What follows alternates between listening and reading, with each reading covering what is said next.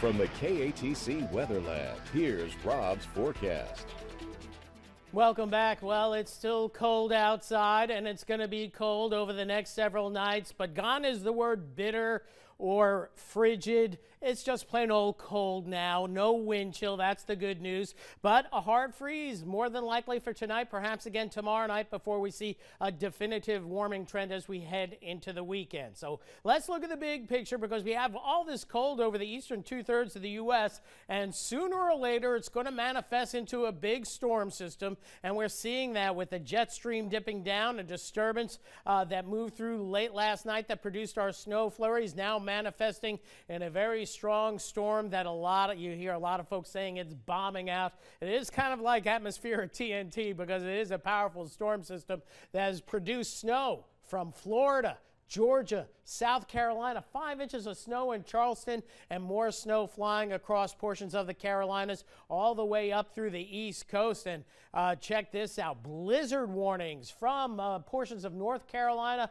up through the Jersey, Jersey coast and then uh, New England as well for up to 15, perhaps 18 inches of snow and blowing snow and bitterly cold temperatures and high winds. That's what gives you a blizzard inland, farther inland, winter storm warnings, and then back to the west. Wind chill advisories for wind chills sub zero for us at least after the snow flurries. They were very brief and very light that moved on through between 11 o'clock last night and 1 o'clock in the morning. They have moved out and we have mostly clear skies. Temperatures this morning, thanks to the clouds last night, held us up. You can see where it cleared out sooner up towards central Louisiana where we saw lower 20s, got into the lower 40s this afternoon. Now we're holding generally around freezing or slightly below. We do favor mid 20s for your low for tonight. And the bigger story 32 in Lafayette, but look at this calm wind. So there's not a wind chill factor, a little bit of a factor, but not the way it was this morning or the last couple of days. So certainly great news there. Also, this time of year, I crunched the numbers going back to the previous year, and I was kind of shocked by the numbers this year.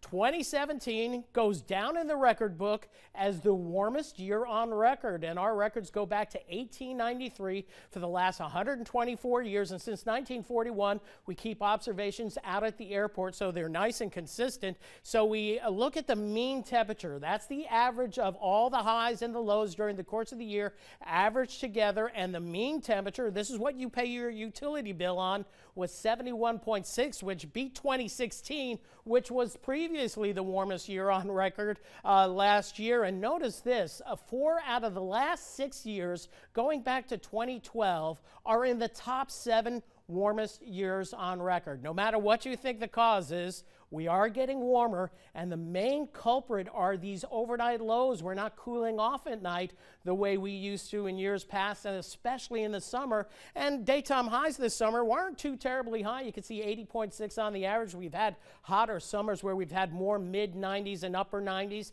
Not so the past couple years because we had wet years as well. Uh, our average rainfall is about 60 or 62 inches of rain. So, in spite of wet years, we're still warming up. Now, uh, whatever way you want to take that or whatever you think the reason, the numbers here don't lie. So here we go with your forecast. Overnight tonight, it will be clear. It will be chilly temperatures in the 20s, minus much of a wind chill. Then tomorrow at lunchtime, lower 40s, still plenty of sun. And then tomorrow afternoon, drive time looks nice and clear as well. And going into Friday morning, we're going to see some high clouds overnight tomorrow night through Friday morning. So that may hold our temperatures up a little bit tomorrow night, uh, but we're going to play mid to upper 20s again. Farther down the road, not too early to look at the weekend, mostly sunny skies, but going into Sunday, return flow coming from the Gulf means it will be milder, chance of showers and storms, especially Sunday night into early Monday with the next front. But the next ridge of high pressure that moves in is going to be more of Pacific of origin, so it's not going to be as cold. Another Arctic outbreak, but this one looks to bypass most of us off to the north uh, nine or 10 days down the road. So we'll watch that. And then we could see another weather system a week from this Friday, but uh, that's pretty much in fairy tale land. What you will watch, here's the freezing line, this wider line. Notice as we move through the days, through the weekend and beyond, those freezing temperatures kind of retreat off to the north, so we will see milder temperatures in the near term. Overnight tonight, though, it's going to be chilly, mid 20s, lower 20s off to the north, mid 20s I 10 corridor, and mid 20s coastal parishes as well, so no major changes there. So a hard freeze again, clear skies, light winds.